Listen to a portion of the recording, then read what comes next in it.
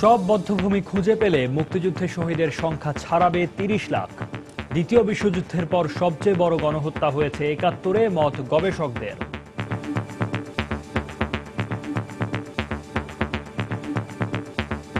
আমাদের মনে হয় বিচার প্রক্রিয়া শেষ হওয়ার পরে জানা যাবে তিরিশ লক্ষ নয় চল্লিশ পঞ্চাশ লক্ষ মানুষকে হত হত্যা করা হয়েছে ওই একাত্তরের নয় মাসে। পাকিস্তানের নৃশংসতার বিষয়টি আরও বেশি করে বিশ্বের কাছে তুলে ধরার পরামর্শ।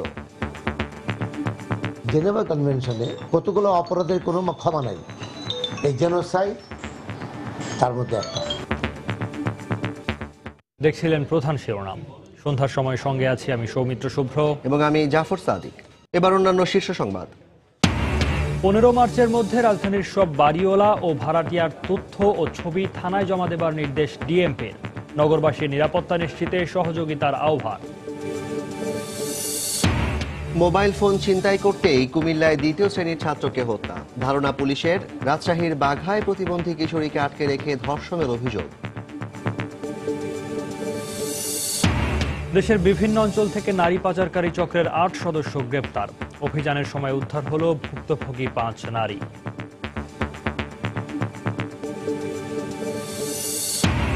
সংযোগ দেওয়ার এক বছর পর গ্যাস পাইপলাইন আর তদারকি করে না কর্তৃপক্ষ। তিতাস বলছে, বিপুল সংখ্যক গ্রাহককে এ সেবা দেওয়া সম্ভব নয়। সচেতনতার তাগিদ বিশেষজ্ঞদের। এবং ইঞ্জুরির কারণে এশিয়া কাপে আর খেলছেন না কাটার মাস্টার মুস্তাফিজ, দলে ফিরলেন তামিম ইকবাল।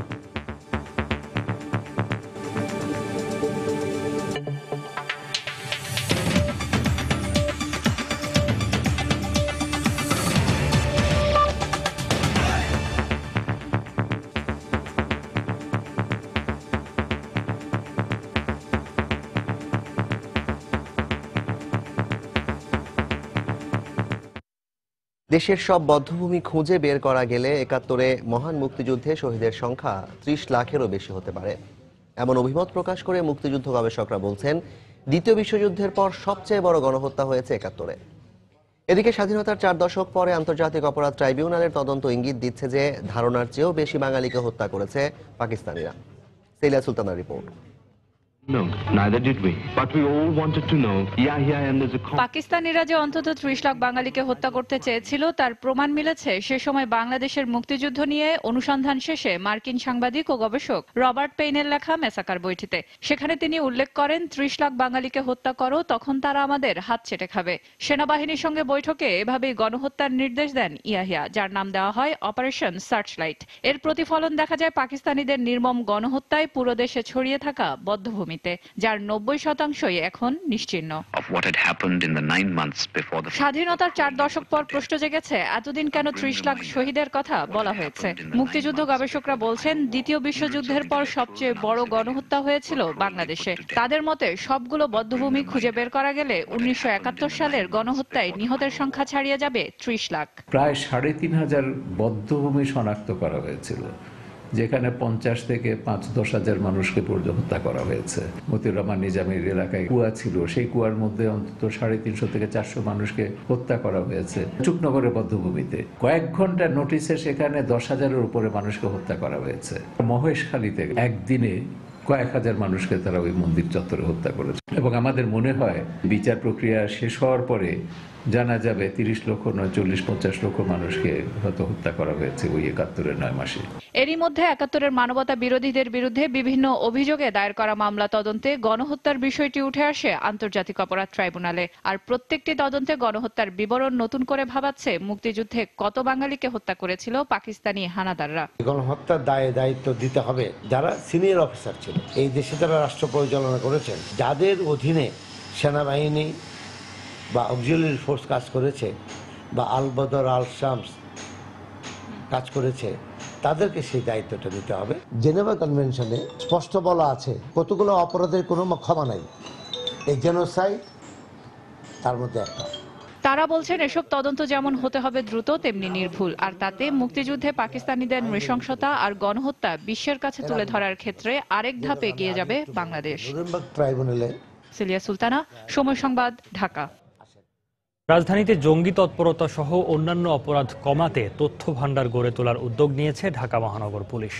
এতে থাকছে বাড়ির মালিক, ভাড়াটিয়া গৃহকর্মী, গাড়ি চালকের ছবি সহ বিস্তারিত তথ্য। এছাড়া তথ্য থাকছে এলাকার বিভিন্ন প্রতিষ্ঠানেরও। ডিএমপি কমিশনার জানিয়েছেন, পনেরো মার্চের মধ্যে নিজ নিজ থানায় এ তথ্য জমা দিতে হবে। এদিকে ডিএমপির এই সিদ্ধান্তকে স্বাগত জানিয়েছেন বাড়ির মালিক ও ভাড়াটিয়ারা। প্রতিদিনই বাড়ছে মেগাসিটি ঢাকার ওপর মানুষের চাপ। জীবন ও জীবিকার টানে অনেকে বাধ্য হয়ে থাকছেন রাজধানীতে। আবার এই জনারণ্যে পরিচয় গোপন করে ঘাঁটি গাড়ছে জঙ্গিসহ নানা অপরাধের হোতারাও। সম্প্রতি রাজধানীর মোহাম্মদপুর দক্ষিণ খান সহ বেশ কয়েকটি জায়গায় এ কায়দায় জঙ্গিদের আশ্রয় নেওয়ার প্রমাণ মেলার পর নড়ে চড়ে বসেছে পুলিশ।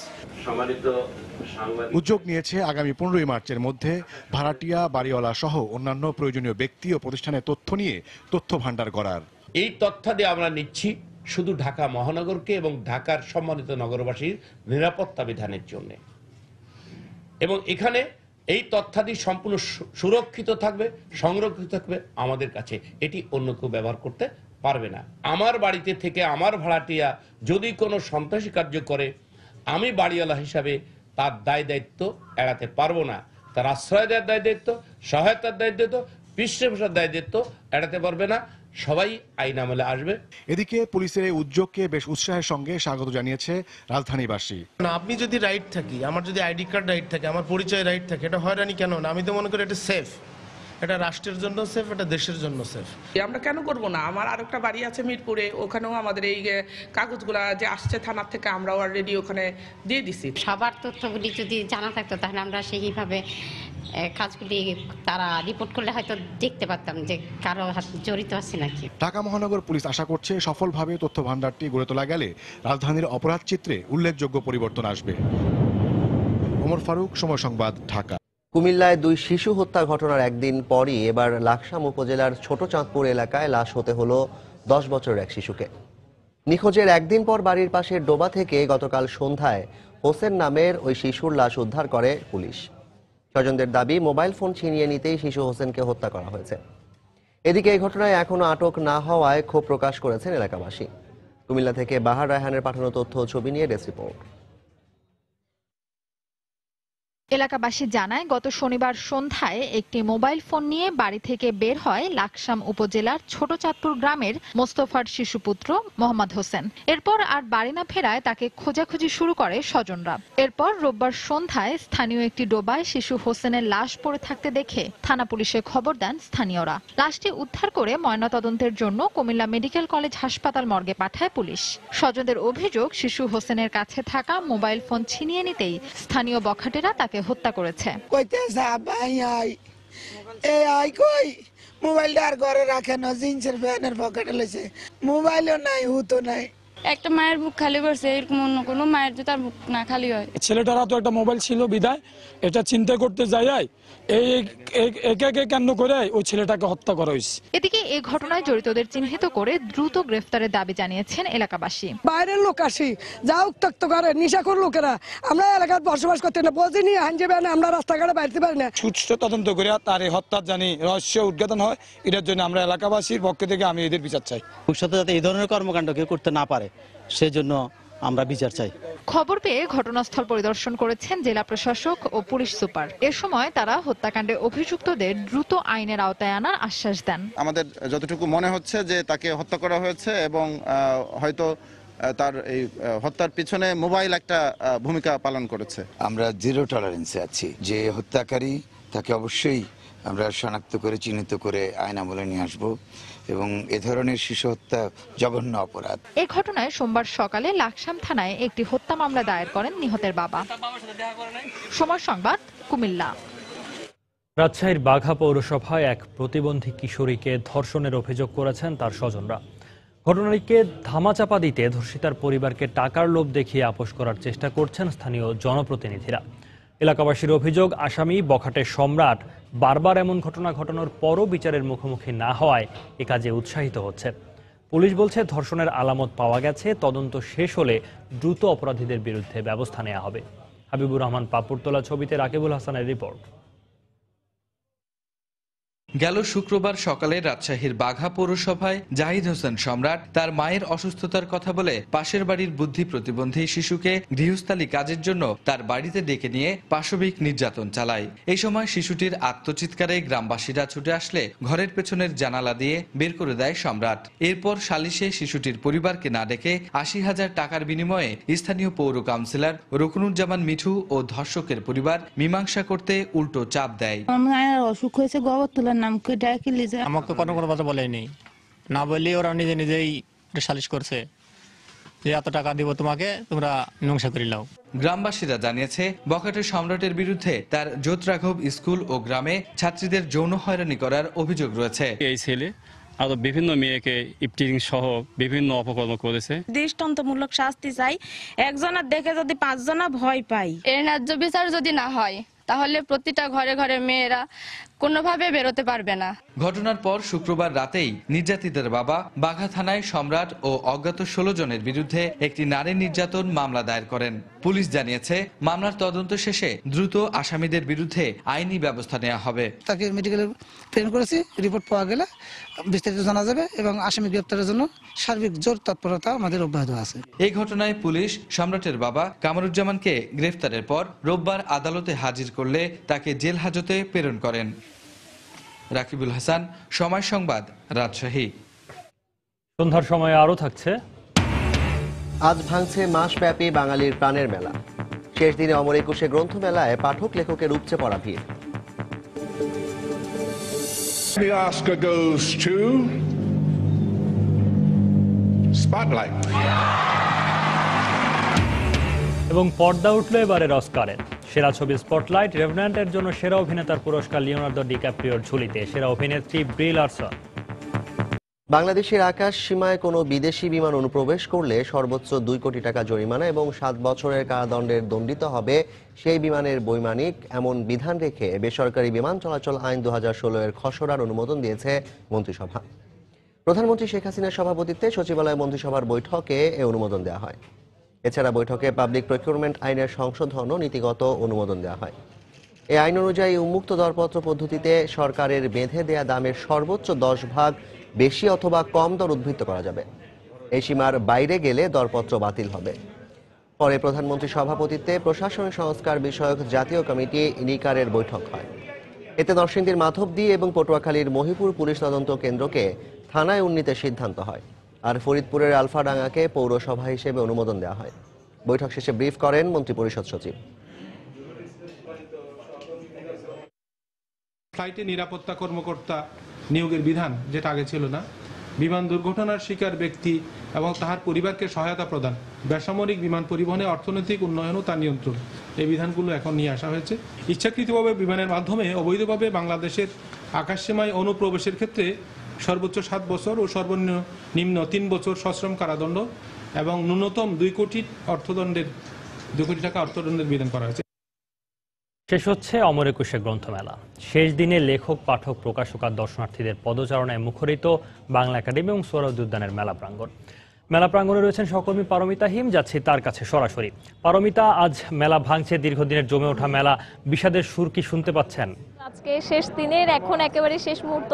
তো আজকে দুপুর থেকে, যখন থেকে একটা থেকে মেলা শুরু হয়েছে, তখন থেকে আমরা দেখছি যে যে যেভাবে পারছেন, যাদের বই কেনা বাকি রয়ে গেছে, কিংবা হয়তো বইমেলায় আসার ছিল, একটা পরিকল্পনা ছিল, কিন্তু শেষ পর্যন্ত সময় করতে পারেননি।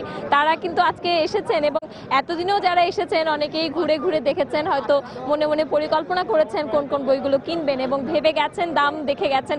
আজকে তারা এসেছেন এবং আজকে বইপত্র কিনছেন এবং প্রকাশকরাও যেটি করছেন যে যেহেতু শেষ মুহূর্ত জানেন আজকেই সবচেয়ে বেশি বিক্রি বাট্টা তাদের হবে। ছুটির দিনও পেরিয়ে গেছে। তো সবকিছু মিলিয়ে তারাও আজকে বেশি দর কষাকষি করছেন না। পাঠকদেরকে তাদের মন জুগিয়ে চাইছেন যে তারা তাদের পছন্দের বইগুলো তাদের হাতে তুলে দিতে। এদিকে আজকে যেহেতু শেষ সময়ে এখন নানা রকম আলোচনা সমালোচনা এবারের মেলায় যা ছিল আহ, সবকিছু মিলিয়ে আসলে প্রকাশকদের মধ্যে সেই সমালোচনা আলোচনাগুলো চলছে।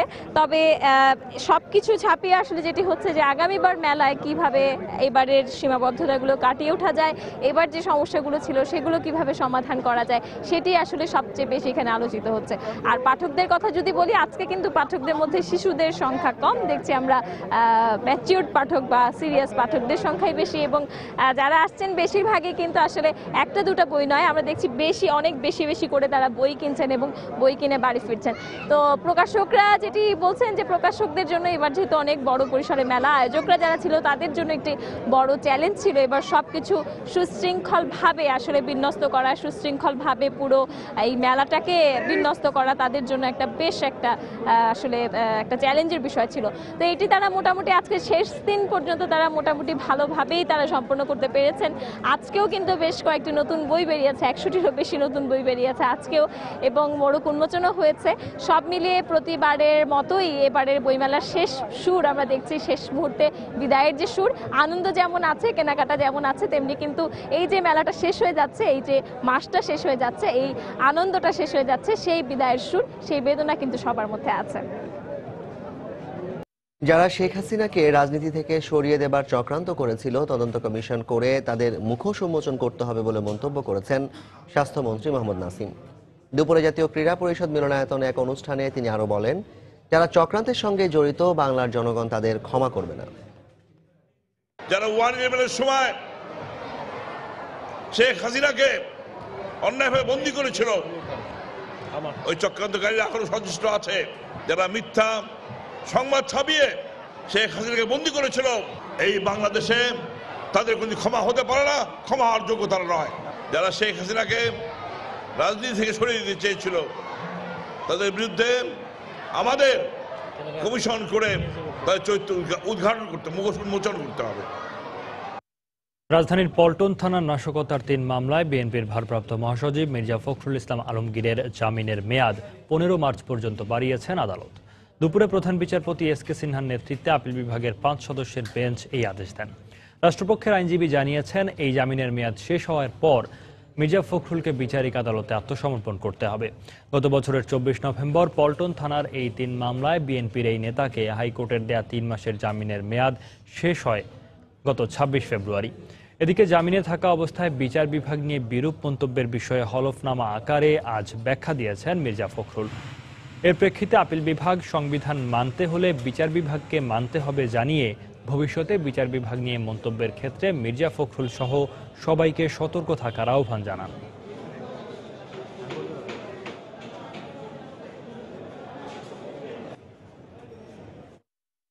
ফখরুল ইসলাম আলমগীর সাহেব যে বলেছিলেন সে আমাদের জুডিশিয়ারি ইন্ডিপেন্ডেন্ট নয় এবং সরকারের প্রেসারে আছেন, এগুলি সর্বময় মিথ্যা কিছু বক্তব্য উনি রেখেছেন, যা কোনো অবস্থায় গ্রহণযোগ্য নয়। আদালত বারবার করে বলেছেন যে সবার বুঝতে হবে জুডিশিয়ারি রাষ্ট্রের অঙ্গ সরকারের কোনো অঙ্গ নয়। এটা নিয়ে রাজনীতি করার কোনো কোনো সুযোগ নেই। হাইকোর্ট ডিভিশন যে বেলটা দিয়েছে সেই বেলটার আমরা কন্টিনিউশন চাই।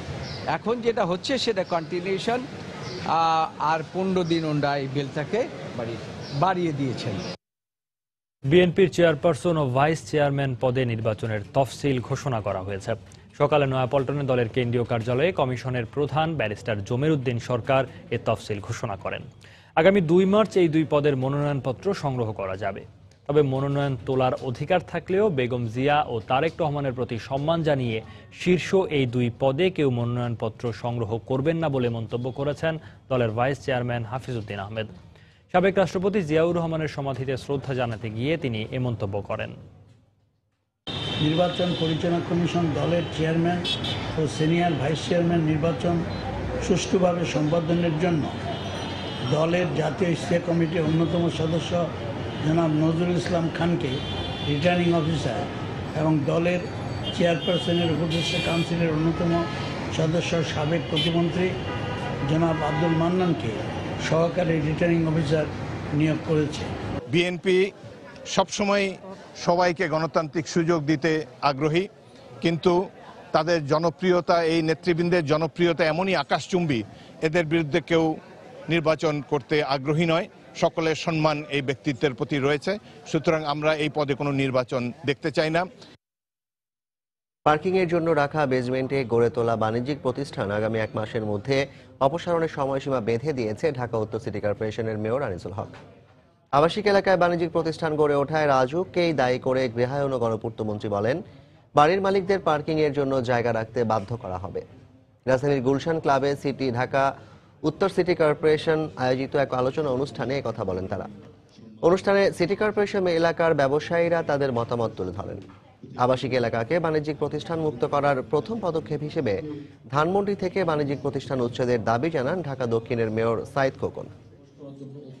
তখনকার সময়ে ধানমন্ডি এলাকাতে একটা অ্যাপার্টমেন্টের মধ্যে দুটা কমার্শিয়াল অফিস চারটা হয়তো বাসা বাড়ি দেখা যায় যে আপনার এমন অনেক বাড়ি আছে যেগুলো আপনার আবাসিক বাড়ি কিন্তু অফিস হিসেবে ব্যবহার করা যাচ্ছে। সেই অফিসগুলোকে কিন্তু আমরা উচ্ছেদ করে দিতে পারি। আমার মনে হয় না এই জন্য খুব একটা বেশি আপনার ডিসকাশনের প্রয়োজন রয়েছে। যারা বেসমেন্টে ব্যবসা করছেন দয়া করে বেসমেন্ট খালি করে ফেলুন।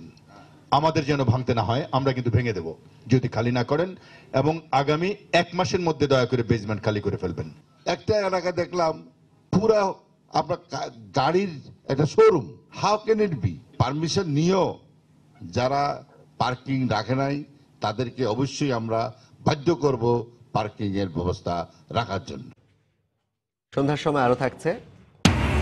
এশিয়া কাপে টিকে থাকার লড়াই আর কিছুক্ষণ পর সংযুক্ত আরব আমিরাতের মুখোমুখি হবে পাকিস্তান।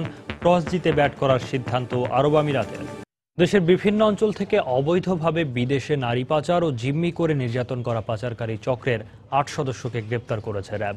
অভিযানের সময় ভুক্তভোগী পাঁচ নারীকেও উদ্ধার করার কথা জানিয়েছে তারা। দুপুরে রাজধানীর র্যাব সদর দফতরে বিভিন্ন অভিযানে গ্রেপ্তার করা নারী পাচারকারী দলের আট সদস্যের বিষয়ে গণমাধ্যমের কাছে ব্রিফ করা হয়। এতে বলা হয় দেশের বিভিন্ন স্থানে সুনির্দিষ্ট অভিযোগ ও গোপন তথ্যের ভিত্তিতে পাচারকারী ধরতে অভিযান চালায় র্যাব। অভিযানে পাচারকারী দলের আট সদস্যকে গ্রেপ্তার করা হয়। ওই অভিযানের সময় পাঁচ ভুক্তভোগী নারীকেও উদ্ধার করেছে র্যাব। এছাড়াও পাচারকারীদের ব্যবহৃত বিভিন্ন দেশের জাল, ভিসা, পাসপোর্টও জব্দ করা হয়।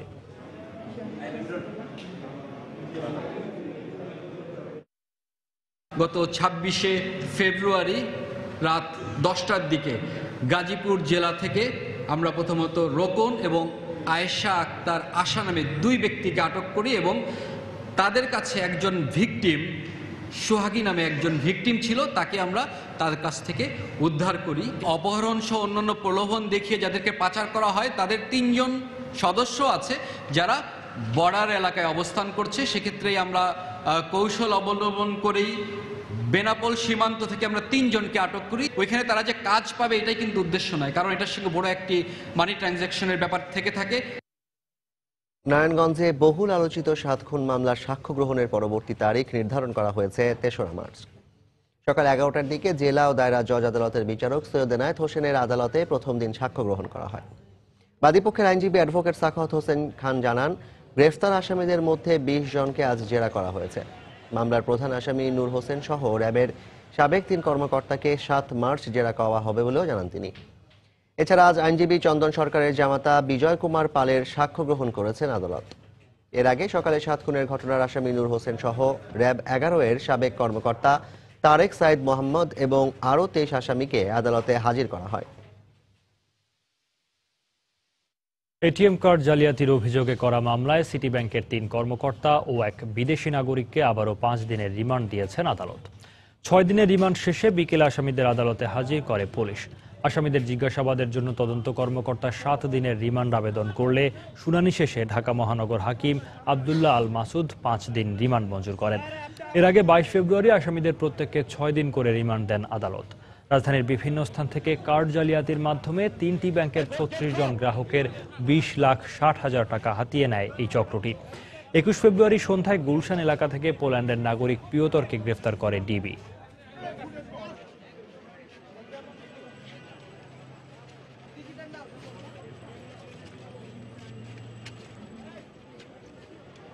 ইউনিয়ন পরিষদ নির্বাচনের তৃতীয় ধাপ থেকে একাধিক স্থানে মনোনয়নপত্র জমা দেওয়ার ব্যবস্থা করছে নির্বাচন কমিশন।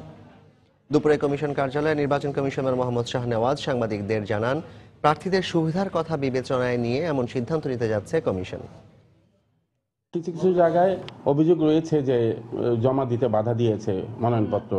সেই ক্ষেত্রে আমরা এখন নতুন করে চিন্তা করছি যে, পরবর্তী যে ফেজগুলো থাকবে আরও পাঁচটা ফেজ আপাতত রয়েছে, সেগুলো যাতে মানুষ এই অভিযোগটা না করতে পারে, সেইটাই, সেইটা বন্ধ করার জন্যই আমরা মূলত একাধিক জায়গায় মনোনয়নপত্র জমা দেওয়ার বিষয়টা চিন্তা করছি, যদিও এখনও এটা চূড়ান্ত কোনো সিদ্ধান্ত হয়নি।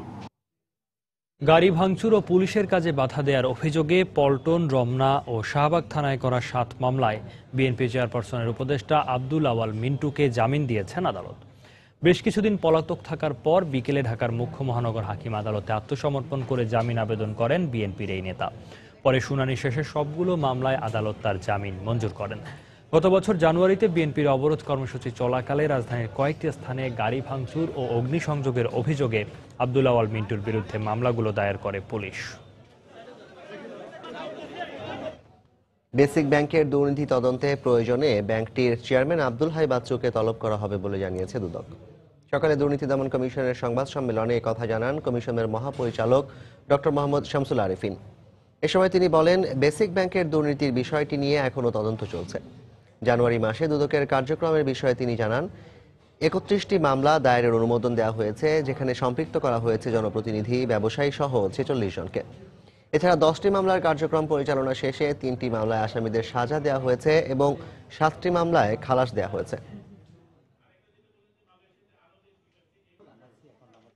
গ্রাহক প্রান্তে সংযোগ দেওয়ার এক বছর পর লাইন তদারকির কোনো বিধি না থাকায় রাজধানীতে বেড়েই চলেছে গ্যাস পাইপলাইনের দুর্ঘটনা। সম্প্রতি রাজধানীর উত্তরায় পাইপলাইন বিস্ফোরণে একই পরিবারের তিনজন প্রাণ হারানোর পর এ নিয়ে বিভিন্ন মহলে প্রশ্ন ওঠে। সচেতনতার পাশাপাশি প্রশ্ন ওঠে গ্যাস বিতরণকারী প্রতিষ্ঠান তিতাসের গ্রাহক সেবা নিয়েও। এমন সব প্রশ্নের জবাবে তিতাস বলছে, বিপুল সংখ্যক গ্রাহকের সম্পূর্ণ তদারকি দুরূহ কাজ তাদের পক্ষে। এমন মর্মান্তিক ঘটনা এড়াতে সচেতনতা বাড়ানোর পাশাপাশি সুষ্ঠু তদারকিরও পরামর্শ বিশেষজ্ঞ মহলের। দেবাশিস রায়ের রিপোর্ট। গেল শুক্রবার ভোরে উত্তরার তেরো নম্বর সেক্টরের এই বাসাটিতেই রান্নাঘরের চুলার গ্যাস থেকে সৃষ্ট আগুনে মৃত্যু ঘটে একই পরিবারের তিন সদস্যের। এরপর থেকেই নানা প্রশ্ন ওই দুর্ঘটনা ঘিরে। রোববার বিকেলে কারিগরি তদন্তে দুর্ঘটনা কবলিত ওই বাসা পরিদর্শন করেছে তিতাস গ্যাসের বিশেষজ্ঞ দল। বেশ কিছু সময় ওই বাসায় গ্যাসের সংযোগ পরীক্ষা নিরীক্ষা করেন তারা। এ সময় ওই ভবনের সংযোগ অবৈধ থাকায় ব্যবহারকারী বেশ কিছুদিন আগে তা বৈধ করারও প্রক্রিয়া অবলম্বন করেছিল বলে জানিয়েছে তিতাস। এই বাড়িটিতেও অবৈধ সংযোগ বৈধকরণের কর্মসূচিতে এই যে জায়গায় দুর্ঘটনা ঘটেছে সেটা নিয়মিত করেছিল। নথিগুলো পাইলে এই জিনিসগুলো শনাক্ত করতে পারব।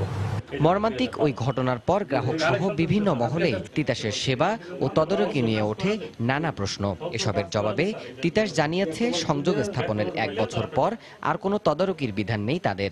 সংযোগের সময় লাইনটি সঠিকভাবে কাজ করে কিনা তার চাপ পরীক্ষা করা হয়ে থাকে। এটি বছরখানেক পর্যন্ত গ্যারান্টিটা ঠিকাদারের কাছ থেকে নেওয়া হয়। এর পরবর্তী সময় যা কিছু ঘটবে সম্পূর্ণ কিন্তু গ্রাহকের দায়িত্বেই রক্ষণাবেক্ষণ করতে হবে। যদি গ্রাহকের তরফ থেকে কোনো অভিযোগ না আসে তাহলে আমাদের তরফ থেকে এটি মনিটরিং এর ব্যবস্থা আসলে নাই। অন্যদিকে এমন ঘটনার পুনরাবৃত্তি রোধে গ্রাহক সচেতনতা বাড়ানোর পাশাপাশি তিতাসের তদারকির প্রয়োজনের কথাও বলছেন বিশেষজ্ঞরা।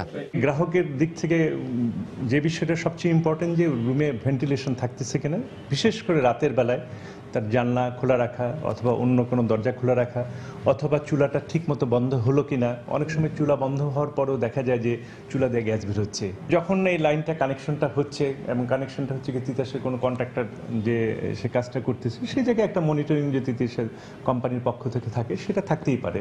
এছাড়াও গ্রাহকদের তিতাস অনুমোদিত কোনো কারিগরি দল ছাড়া বাইরের কোনো কারিগরি সাহায্য না নেওয়ারও পরামর্শ দিয়েছেন তারা। তাহলে একমাত্র এটা সম্ভব দেবাশিস রায় সময় সংবাদ ঢাকা। বাংলাদেশ টেলিযোগাযোগ ওয়ার্ক চার্জ শ্রমিক কল্যাণ সমিতির কেন্দ্রীয় কমিটির আহ্বানে ওয়ার্ক চার্জ কর্মচারীদের পেনশনভুক্ত কর্মচারী করার দাবিতে মানববন্ধন কর্মসূচি পালন করা হয়েছে। সকালে রাজধানীর জাতীয় প্রেস ক্লাবের সামনে এই মানববন্ধনে অংশ নেয় প্রায় তিন হাজার কর্মচারী।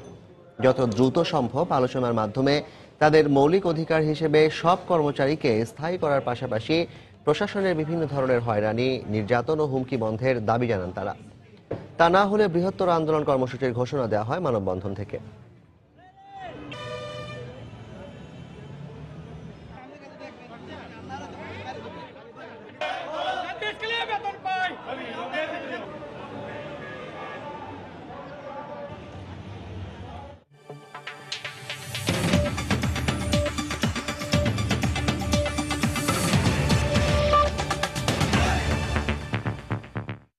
পর্দা উঠল আটাশিতম একাডেমি অ্যাওয়ার্ডের। দ্য রেভনেন্ট ছবির জন্য প্রথমবারের মতো সেরা অভিনেতার পুরস্কার পেয়েছেন লিওনার্দো ডিকাপ্রিও এ ছবির জন্যই সেরা পরিচালকের পুরস্কার পেলেন আলেহান্ড্রো ইনারিতু। তবে শ্রেষ্ঠ ছবির পুরস্কারটি জিতে নিয়েছে টম ম্যাকার্থের স্পটলাইট। আর রুম ছবিতে অভিনয়ের জন্য এবারের সেরা অভিনেত্রী হলেন ব্রি লারসন নমিনেশন পেয়েও বরাবরই হাত ফসকে গেছে অস্কারের স্বীকৃতি। লস অ্যাঞ্জেলেসের ডলবি থিয়েটারে বিশ্বের কোটি দর্শকের চোখ ছিল লিওনার্দো ডিক্যাপ্রিওর দিকেই। তবে এবার নিরাশ হননি এই তুখোর অভিনেতা। হাতে তুলে নিলেন আটাশিতম একাডেমি অ্যাওয়ার্ডের স্বীকৃতি। রেভেনান্ট চলচ্চিত্রে এক শিকারীর চরিত্রে অনবদ্য অভিনয়ের জন্য পেলেন পুরস্কার। অস্কার হাতে লিওনার্দোর হাসিটি বিশ্ব তারকাদের জমকালো মিলন মেলায় ছড়িয়ে দিল অন্যরকম এক আলো। রেভন্যান্ট ছবির প্রতিটি কলাকুশলী অবিশ্বাস্য কষ্ট করেছে। তাদের ধন্যবাদ। আমার সকল দর্শকদের ধন্যবাদ। এই চলচ্চিত্রে প্রকৃতির সঙ্গে একাত্ম হয়ে মানুষের বেঁচে থাকাকে ফোকাস করেছি আমরা। আমি জলবায়ু পরিবর্তনের হাত থেকে বিশ্ব মানবতাকে রক্ষার জন্য যারা কাজ করছে তাদেরকেও ধন্যবাদ জানাই। Alejandro G. Inarritu. রেভেন্যান্ট ছবির জন্যই পরপর দ্বিতীয়বারের মতো শ্রেষ্ঠ পরিচালকের পুরস্কার ঘরে তুললেন বার্ডম্যান খ্যাত আলেহান্দ্রো ইনারিতু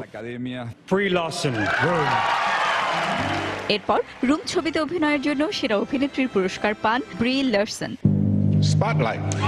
আর সবাইকে অবাক করে দিয়ে আটাশিতম অস্কারে সেরা চলচ্চিত্রের পুরস্কার পেয়েছে টম ম্যাককার্থি পরিচালিত স্পটলাইট ছবিটি. এবারের অস্কারে ব্রিজ অফ স্পাইস ছবির জন্য সেরা পার্শ্ব অভিনেতার পুরস্কার পেয়েছেন মার্ক রাইল্যান্স আর দ্য ড্যানিশ গার্ল ছবির জন্য সেরা পার্শ্ব অভিনেত্রী হয়েছেন সুইডিশ অভিনেত্রী অ্যালেসিয়া ভিকান্দার Inside Out. Pete Doctor Jonas Rivera. দু হাজার পনেরো সালের সেরা অ্যানিমেটেড চলচ্চিত্র নির্বাচিত হয়েছে। এবছরের সবচেয়ে জনপ্রিয় ছবি ইনসাইড আউট সেরা বিদেশি চলচ্চিত্রের খেতাব পেয়েছে হাঙ্গেরির সান অফ সোল কেবল পুরস্কার পাওয়ার মাঝেই সীমাবদ্ধ ছিল না এ আয়োজন। গান আর কৌতুক ছাড়াও বিনোদনের রসময় উপাদানে অন্যরকম এক মাত্রা পায় আটাশিতম অস্কারের এ বিশ্ব আসর। সঞ্জিতা ইসলাম সময় সংবাদ।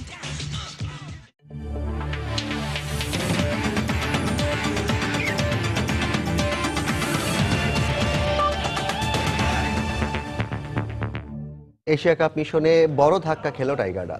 চোটের কারণে টুর্নামেন্টে আর খেলতে পারবেন না কাটার মাস্টার মুস্তাফিজুর রহমান। তবে স্বস্তির খবর, মুস্তাফিজের জায়গায় দলে ডাক পেয়েছেন ওপেনার তামিম ইকবাল। বিসিবি থেকে বিষয়টি এখনও নিশ্চিত করা না হলে বিভিন্ন সূত্রে এ খবর জানা গেছে। ভারতের বিপক্ষে ম্যাচে ছন্দে না থাকলেও পরের দু ম্যাচে দুর্দান্ত বোলিং করে টাইগারদের জয়ে গুরুত্বপূর্ণ ভূমিকা রাখেন মুস্তাফিজ।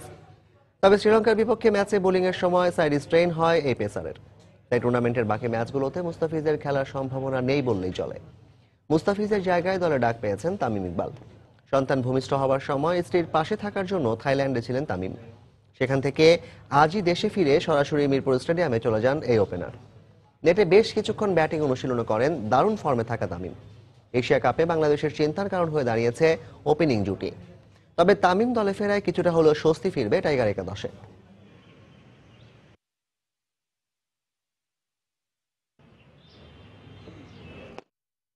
টুর্নামেন্টে টিকে থাকার লড়াইয়ে সংযুক্ত আরব আমিরাতের মুখোমুখি হয়েছে পাকিস্তান। প্রথম ম্যাচে চিরপ্রতিদ্বন্দ্বী ভারতের কাছে হারায়। ফাইনালে খেলার স্বপ্ন টিকিয়ে রাখতে এই ম্যাচে জয়ের বিকল্প নেই শহীদ আফ্রিদির দলের সামনে। মিরপুরে টস জিতে ব্যাট করছে আরব আমিরাত। শেষ খবর পাওয়া পর্যন্ত তাদের সংগ্রহ তিন উইকেটে বারো রান। পাকিস্তানের বিপক্ষে ভালো কিছু করতে একাদশে একটি পরিবর্তন এনেছে বাছাই পর্বের সেরা দল আরব আমিরাত। অন্যদিকে পাকিস্তান দল অভিষেক হয়েছে সম্প্রতি পিএসএল এ দারুণ বল করা বাঁহাতি স্পিনার মোহাম্মদ নওয়াজের।